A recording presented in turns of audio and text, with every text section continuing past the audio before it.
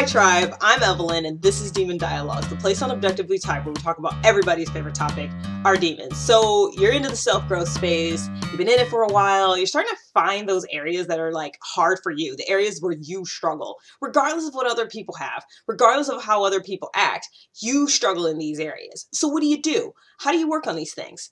Uh, it doesn't matter if you're into typology, if you know your type, you have your best fit type, you disagree with your type, it doesn't really matter. There's going to be some area in your life that is going to be hard for you. It's going to be an area where you're kind of stuck, right?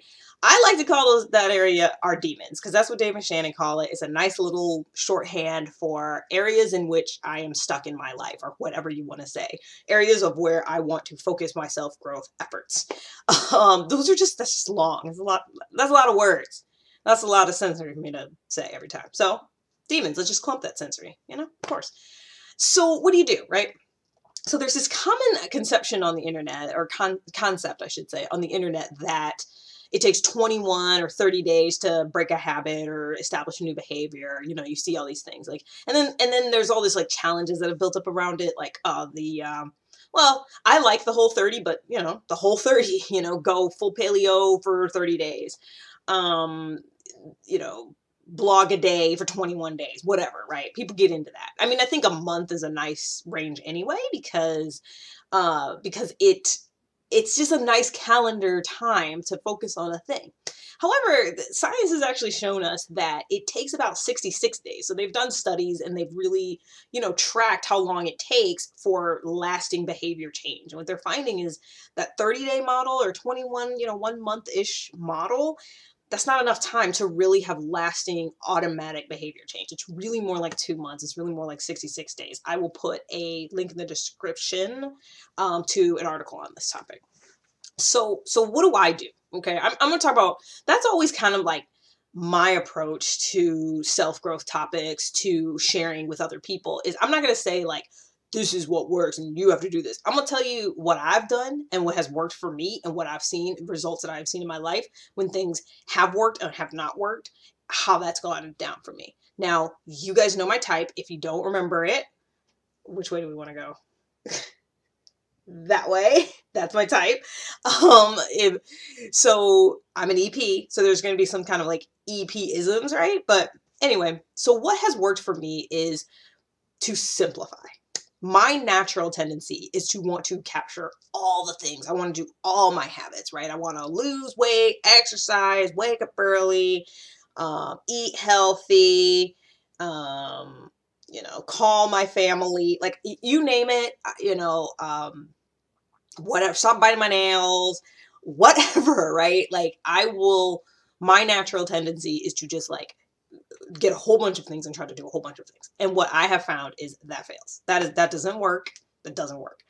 The better method is to focus on I would say maximum 3, but let's just like 3 to 5, but but really let's keep it to 3. I would say 1 to 3. Let's say that. I have noticed that I have like yeah, when I think about like the times when I've had like the best success, it is when I am singularly focused on 1 to 3 things. So I used to listen to this, and, and I still do on occasion, this podcast called Cortex uh, with CGP Grey. He also has Hello Internet. And Grey had his four light bulbs. He had um, it was it was like family, social, work, and health or something, right? And what he would do is he would essentially say like I I can't do all of these things at level 10. I can modulate them and tr- kind of trade uh, the power that gets put. So, like one light bulb is going to be turned up, another light bulb is going to be turned down. And I have found that that same type of model works really well for me. So, I will pick a, an area, let's say health, and I will singularly focus on that area, have some goals built around that area. Like, let's say you want to build an exercise routine, right? So, build say i'm going to exercise every day at this time uh, that is my goal for the next two months. And that's what you got to do. And then you got to track it. You got to track it. People who want to get into a habit, they want to get into eating healthy or whatever, and they don't track it, they don't have success. You've got to track it. As you track it, you can see your results in reality. And another thing they found in these studies is like you may have a day where you miss or not, and that's okay as long as you're keeping that consistency over time. It's the over time that really builds the pathways in your brain that really establishes the new behavior. So, what am I working on right now? Okay, you know my type. Right now, frankly, I got two things. I have a habit tracker that I use. Uh, it's actually a, an app. It's a whole like social media thing called Habitica. But I so it's it's like it's like a little art, gamified habit app. I have two things in there. Um, focus on gathering the sensory. So it says like I'm responsible for gathering the sensory, and um, I don't need validation cookies. Those are the two things that I'm really working on, and that's it. And I have a track, and I'm I'm tracking it for the next 60 days.